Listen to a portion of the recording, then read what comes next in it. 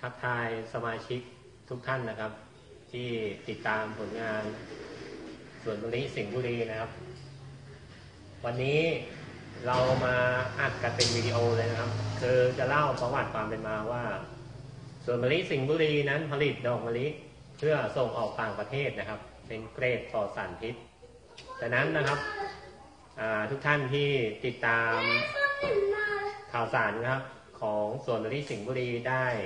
หลายช่องทางที่ขึ้นหน้าจอนี้นะครับ ฉะนั้นทุกท่านที่ติดตามจะไม่ผิดหวังนะครับ กับราคาโปรโมชั่น หรือการส่งนะครับด้านโลจิสติก ขอบคุณมากนะครับที่ติดตามแล้วเราจะมีคลิปต่อ ๆ ไปอีกเรื่อย ๆ นะครับ ขอบคุณครับ